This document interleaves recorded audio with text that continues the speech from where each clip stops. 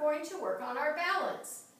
This is how we're going to do it. We're going to pick a line. You can take a crack or a ace bandage or I took blue painter's tape.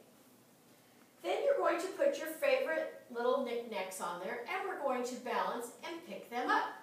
So you're going to walk on the line. You're going to balance, pick it up. Keep your stomach in and your bum in. Forward, forward, balance, pick it up, forward, forward, balance, pick it up, forward, forward.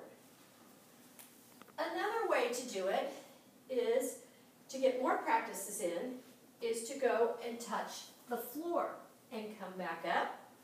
Or if you can't do that, touch your shins and come back up. Or touch your knees and come back up.